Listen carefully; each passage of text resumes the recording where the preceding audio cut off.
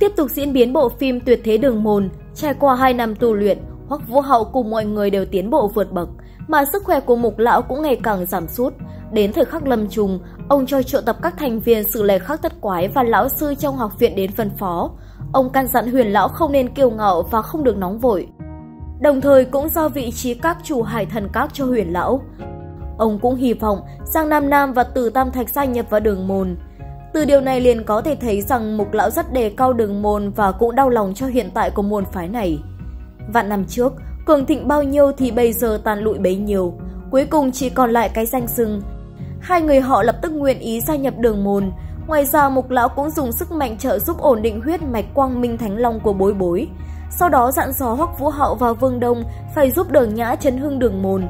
Cuối cùng tuyên bố một mệnh lệnh đó là toàn lực phát triển hồn đạo hệ. Nếu như hồn đạo hệ có thể xuất hiện một vị hồn đạo sư cấp 10, thì vị trí các chủ của hải thần các sẽ do người đó kế thừa. Sau khi phân phó xong, Mục Lão cũng ra đi, học viện sự lệ khắc chính thức mất đi cường giả mạnh nhất.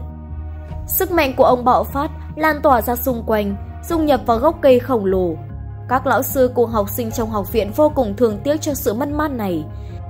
Nén lại cơn đau buồn, các học sinh trong học viện vẫn phải tiếp tục cố gắng, Hoắc Vũ Hậu và Thái Đầu cũng thu dọn đồ đạc để đi tới Nhân Nguyệt Đế quốc học tập. Sự việc Mục Lão đã mất, nhanh chóng dấy lên phần tranh. Siêu hồn thú đế thiên mặc dù là hồn thú mạnh nhất trên đại lục, thì vẫn phải e ngại Mục Lão. Giờ ông ấy không còn nữa, hắn ta lập tức muốn dẫn dắt hồn thú phản công lật đổ nhân loại.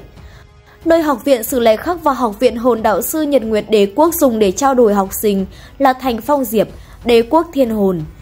Trên miệng Kính Hồng Trần tỏ vẻ thường tiếc cho sự mất mãn của mục lão, nhưng trong lòng thì lại vui sướng vô cùng. Lần này không chỉ có một mình Hoắc Vũ Hậu mà còn có thêm nhiều thành viên khác cũng được tuyển chọn đi học tập. Phía Nhân Nguyệt Đế Quốc cũng cử ra vài thành viên, trong số này có hai anh em Tiếu Hồng Trần và Mộng Hồng Trần. Đây chính là khung cảnh của thành phố trong Nhân Nguyệt Đế Quốc. Các tòa nhà ở đây vô cùng hoành tráng, nguy ngờ, khiến cho các học viên sự lệ khác phải trầm trồ. Dưới đất có một vài người sử dụng hồn đậu khí phi hành để bay lượn, đọc báo. Trên bầu trời lại có nhiều phi thuyền bay lượn. Kính Hồng Trần phát cho mỗi người một cái huy chương hồn đậu khí tân sinh. Có nó rồi thì mới có thể ra vào học viện. Sau khi cắt xong đồ đạc, Hoắc Vũ Hậu được yêu cầu đến phòng thí nghiệm báo danh.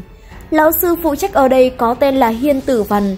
Hắn ta muốn tiến hành khảo thí hồn đạo sư để kiểm tra năng lực của cậu. Nếu như cậu không thông qua thì tự đổi lão sư khác. Hoắc Vũ Hậu thẳng thắn cho biết, học sinh học viện Sử Lê Khắc chưa từng ngại khiêu chiến. Cậu tiếp nhận thử thách này. Yêu cầu là trong 15 phút là một món hạch tâm pháp trận hồn đậu khí cấp 5. Ngay khi bắt đầu tính giờ, nhiều viên đá thô để khắc hạch tâm lập tức xuất hiện. Hoắc Vũ Hậu lấy ra con dao khắc rồi bắt đầu thi triển tài năng.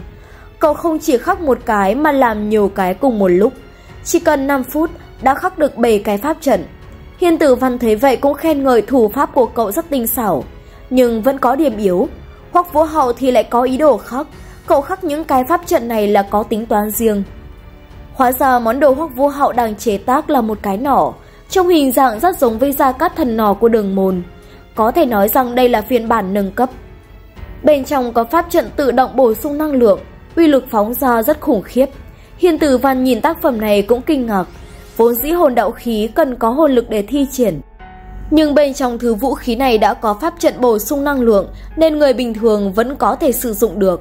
Hiền tử văn không dám khinh thường Hoắc Vũ Hào nữa, ngược lại còn lên tiếng mời chào, chỉ cần cậu gia nhập hồn đạo sư học viện của Nhân Nguyên Hoàng gia thì hắn có thể dẫn cậu vào Minh Đức Đường và bồi dưỡng cậu trở thành hồn đạo sư mạnh nhất đại lục. Hoắc Vũ Hạo cảm ơn lời mời của hắn, cậu từ chối vì cậu không hy vọng hồn đạo khí do mình chế tạo, sau này trở thành thứ vũ khí tấn công quê hương của mình. Không thể thuyết phục được, nên hắn chỉ yêu cầu cậu trước tiền cứ đi theo mình học tập trước. Xem tới đây thì nội dung bộ phim đã hết rồi. Cảm ơn các bạn đã quan tâm theo dõi. Xin chào và hẹn gặp lại mọi người trong các video sau nhé.